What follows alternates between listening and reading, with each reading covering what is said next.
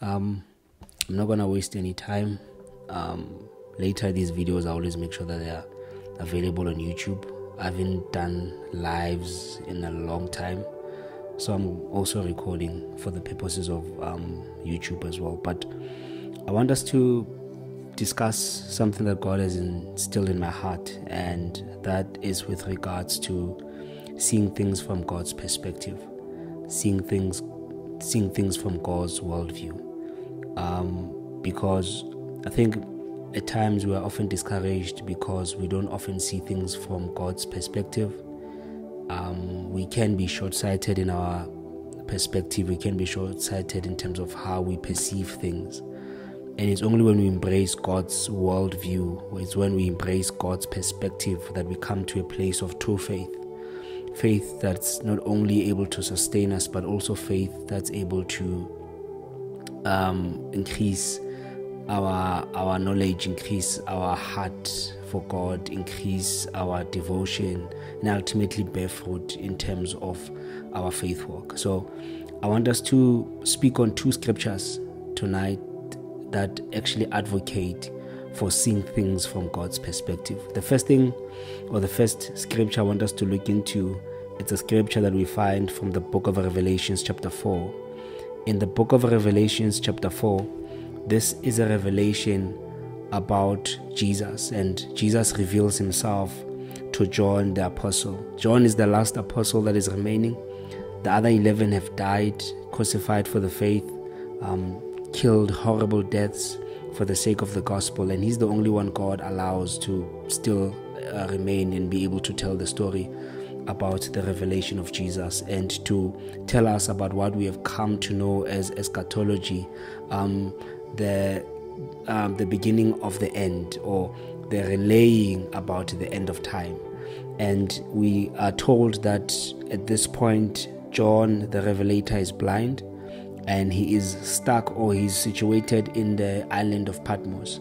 And this is the revelation of the Son of God. And in Revelation chapter 4, after God speaks to him, or speaks to him, or speaks through him to the churches that he has issue with, um, and continuously says, Let the ear or let your ears hear what the Spirit is saying. God gives words of commendation where they are doing well, but He also gives words of condemnation where they are not doing well.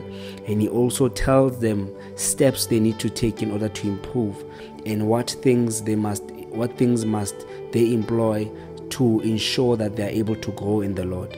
In Revelation chapter 4, after speaking to the churches, he says to John, After this I looked, and behold, a door, um, a door standing open in heaven. And the first voice which I had heard speaking to me like a trumpet said, Come up here, and I will show you what must take place after this. And this is the this is a glorious thing that God is saying here. That after God has shown him the state of churches and where they've been failing and where they need to improve, but also where they've been doing well. He took him to a different place and he says to him, Come up here because I will show you what, what must take place after this. That God said, Let me borrow you my lenses. Let me borrow you my perspective. Let me introduce you to my worldview. And when it continues, this chapter 4, we learn that John, in this moment in time, he sees himself in heaven, is where he sees the angels around the throne of God, the 24 elders worshiping God in his majesty and in his glory. And God is saying, This is my perspective this is the situ- this is the location or this is the position in which I speak. This is the environment in which I when I send forth a promise, when I send forth a declaration, this is the position I find myself in. This is the worldview that I often speak from. That so many things that are lost within what God is doing in our time and what God is doing in our lives is because sometimes we speak them or we look them or we perceive them from an unfavorable position. We are in unhealthy environments while still wanting to be in the environment or in the position that God has called us to. That he's saying to John, you must be in a heavenly position, you must be in a heavenly environment for you to understand mysterious things concerning what is still to come. That you must be in a position or you must be in an environment where my spirit and my glory affords you the lenses of seeing things directly from my throne. That is not that God is not going to do it, but the reason why we walk in discouragement is because we are trying to understand what we are going through from a position that is not heavenly, from a perspective that is not inspired by God, from a worldview that is not fully orchestrated and fully led by God. So he says, Look, I want you to sh- I want to show you things that are to come, but you must come up here first. You must remove yourself from the earthly position. You must remove yourself from the lowly position. You must remove yourself from a discouraged position. And you must come to a position in which I want you to be in. As a result, when you are where I am, you can be able to understand things concerning what is still to come that the greatest place that affords us the greatest revelation is when we are in the presence of God. What affords us to see things from God's perspective is when we are positioned and is when we are where He wants us to be. So, the first thing he's saying to John in terms of him adopting his perspective, him adopting God's worldview, he says, Come up here, come to where I am, be removed from your lowly uh, place, be removed from your earthly perspective, be removed from your fleshly perspective, and come to the heavenly so that I can show you what is still to come. I want us to also visit the book of Ephesians, chapter 3. And this is now something that Paul also adopts. And, and this is this this should be the the, the, the, the perspective or this should be an attitude of a believer to always want to see things from God's perspective, to always want to ask ourselves the question what would Jesus do in this situation? It's a, it's a glorious thing for us to always want to aspire to achieve. How would Christ respond to this question? How would God want me to act in this moment?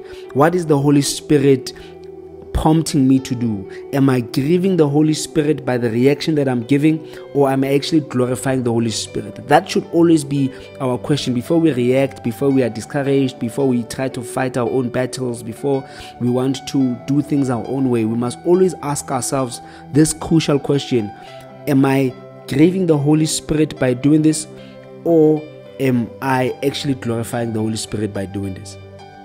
Now, I want us to look at Philippians chapter 3, verse 8. Now, this is Paul speaking to the church of, of, Philippi, and I want us to start from verse 8. And he says, Indeed, I count everything as loss.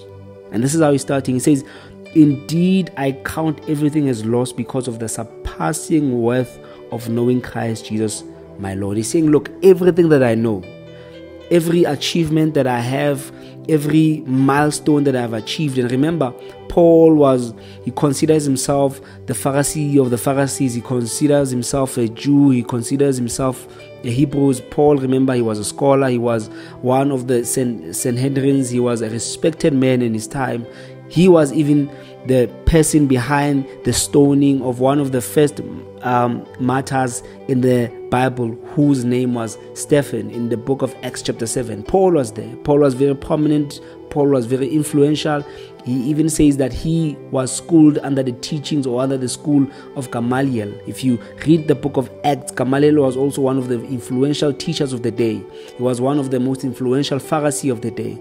And Paul, having all this knowledge, all this prominence, all this importance, he says, when I compare all of those things with the knowledge of Christ, with the surpassing worth of knowing Jesus Christ, my Lord, he says, I consider all of that a loss. That it is the perspective of seeing Jesus for who he is, his glory, his might, his power, and knowing him fully and truly and truly as well, that everything else will seem like a loss.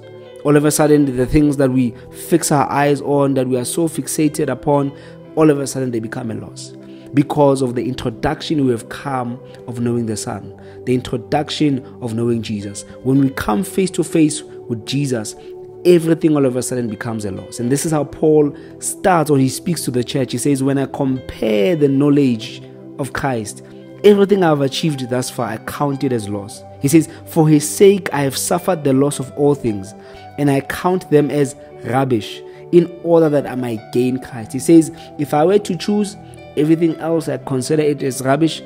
If it means it stands in the way of me gaining Christ.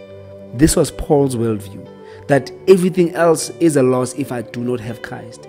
That I can I can have all the riches in the world, I can have all the, the followers, all the people loving me, all the the, the, the, the commendable words, you know, the money, the job, all of those things I can always achieve. But if they come in the expense of Christ, he says, I'm at a great loss. He says, if I were to compare this with gaining Christ, he says, I consider all of those things as rubbish, nothing worthy to pursue. So, this is our worldview. This is the worldview we must always try to adopt. This is the worldview that we must always try to attain. Gaining Christ above all things. That it must always be first Jesus, then everything else follows. We must not be in a position or be in a place where Jesus in our lives is competing with other external things. The eternal God competing with temporary things of this world. We should never come to that place in our relationship with Christ. Christ, who has the power to give us eternal life, must always be a priority because He's the one who has the keys to eternity. And everything else in this world, no matter how beautiful it is, no matter how spectacular it is, it all has an expiry date upon our death, and at times, even while we're still alive, there are certain things that we won't always attain or we won't always have in our possession, even in this life. But even if we might have them until we die, guess what? At the t- at the date of our um, of our death, all of those things all of a sudden do not matter. Our qualification, all of those things, they do not matter because every single thing except Christ has an expiry date. So when Paul looks at all of these things, he says, Look, if I were to choose eternity and what's temporary, I consider every single thing temporary to be nothing but loss and rubbish when it comes in comparison with gaining Christ. And in verse 9 he says, And I want to be found in him, not having the righteousness of my own that comes from the law, but that which comes from faith in Christ, the righteousness from God that depends on faith. Now, verse 10, look at this. He says, That I may know him this is this is this is his obsession, this is his desire, this is his ultimate goal to know him. The greatest thing we can have in this world is to know Jesus.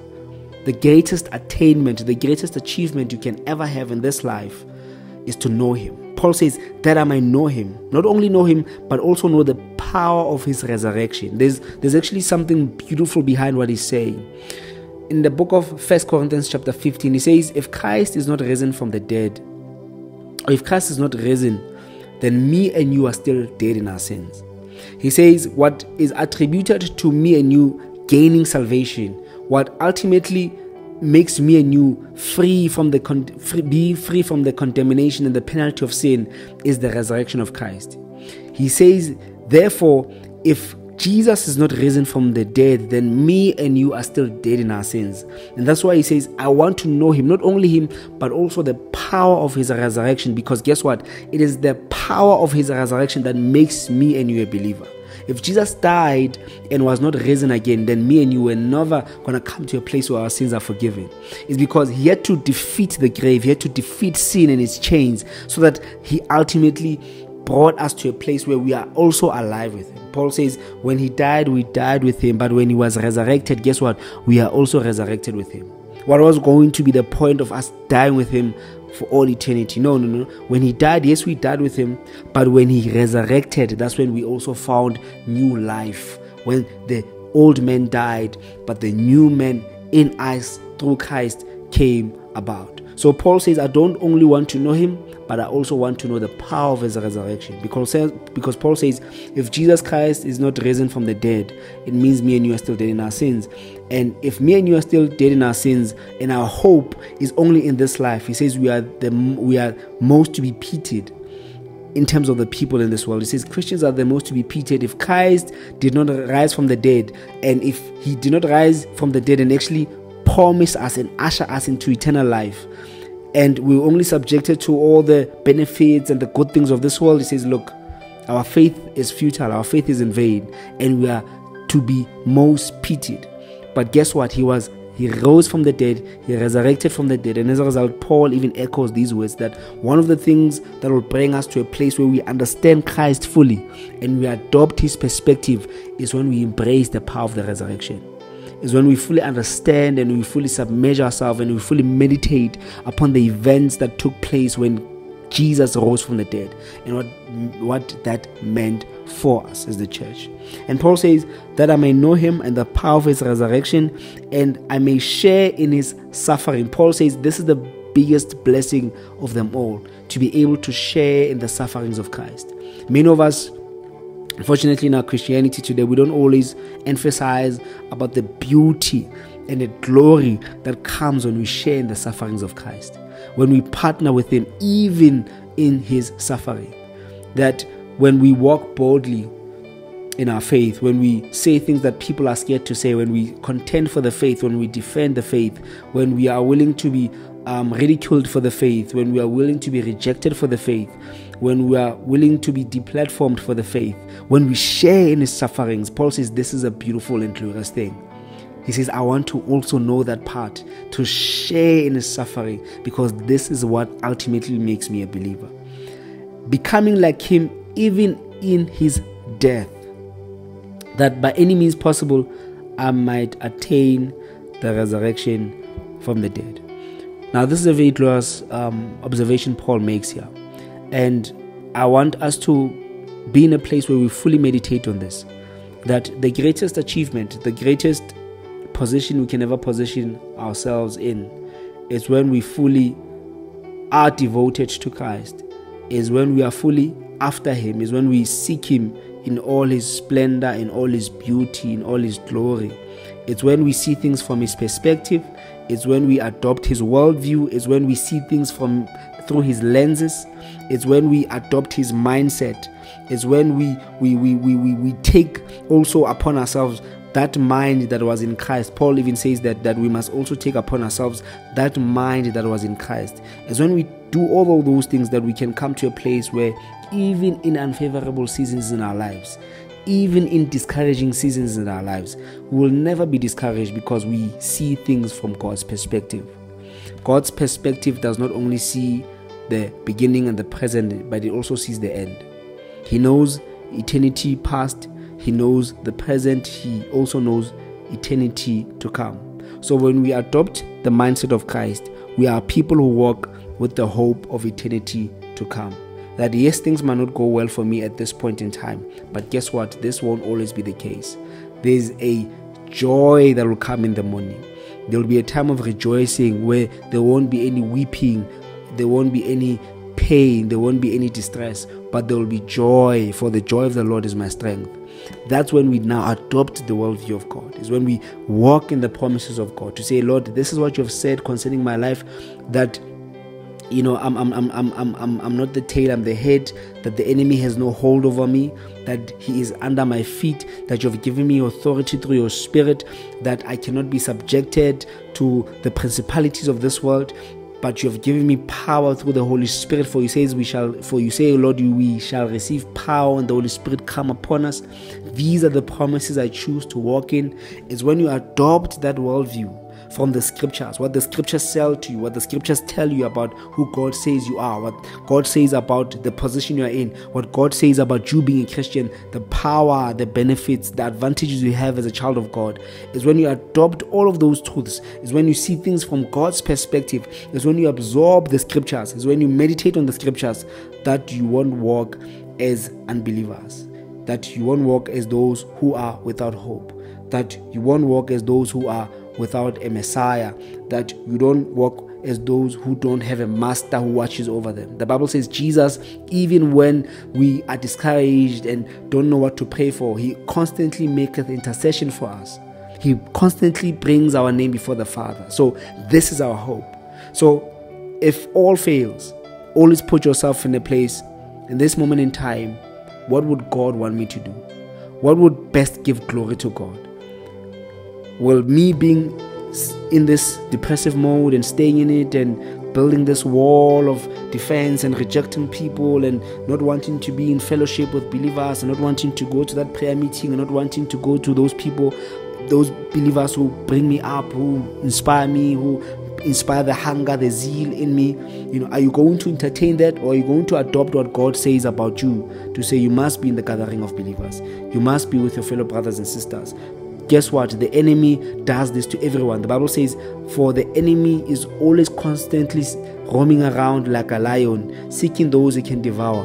And Peter says this is happening throughout the world to your brothers and sisters. So sometimes we have this idea that I'm the only one who's facing this thing. I'm the only one. No one will ever understand me. And this is what the enemy wants you to think because he thrives in isolation. The best tool, the best bet he has against you is that you do things alone, that you live in isolation. He wants you to think there's no hope, you are alone, no one understands, everyone around you is false. He wants you to be in that place of despair, to be in that place of um, um, isolation. As a result, he can be able to kill you in that place. I mean, we also see this with lions, um, with with lions, especially animals as well. That animals are often better protected when they walk in packs. That whenever one is actually removed from the pack, it actually becomes vulnerable to the, the to, to, to the other animals that may want to devour it. That's why they must always be in a pack. A young elephant must always be in the pack of other bigger elephants. A younger buffalo must always be in a pack of older buffaloes because guess what? In that pack, there's hope. They are not as vulnerable as they could. They are not as susceptible to any form of attack as they would if they were alone. So the enemy also does not want you to fellowship with believers, to be in church, to go to those prayer meetings, to be out, to be around other young Christians. Why? Because he wants you to be alone. He wants you to see things from this lowly, earthly, fleshly perspective, this social media perspective, and not fully embrace the perspective of God that says, Look, you've been crying about this, but guess what? I'm going to deliver you. I'm going to set you free. You've been in chains for too long. I'm going to set you free because guess what? The chains that you are having, the, the cry, the sickness, the sufferings you're experiencing today, the Bible tells us that this won't always be the case. That God, when He sets us free, He sets us free indeed.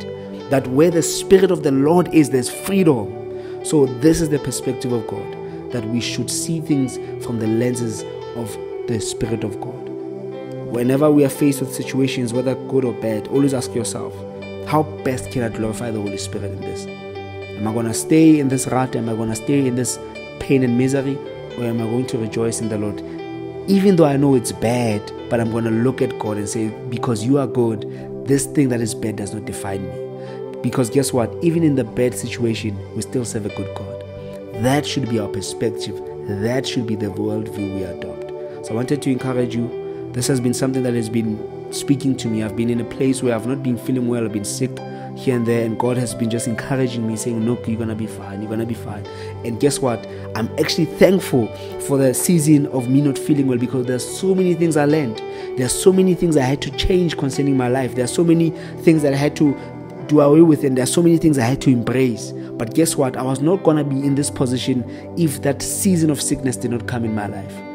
Just like Job, Job was not going to be in a place where he fully appreciates God if he was not tested with God removing everything from him, even plaguing sickness upon him. Because guess what? He realized that, wait, I did not fully understand the Maker. It's in that journey, that difficult journey, that he even spoke to himself with his friends to say, This is who God is. No, even before I was born, God knew this thing. How can I be separated from my Maker? There are certain things we won't fully understand and comprehend lest we walk in those tough seasons, in those tough trials and tests. What are you going to do in that moment? Are you going to despair and distress? Are you going to ask the question, God, in this moment, in this situation, how best do I glorify you? May God bless you. May God keep you. I did not want to be long. Amen.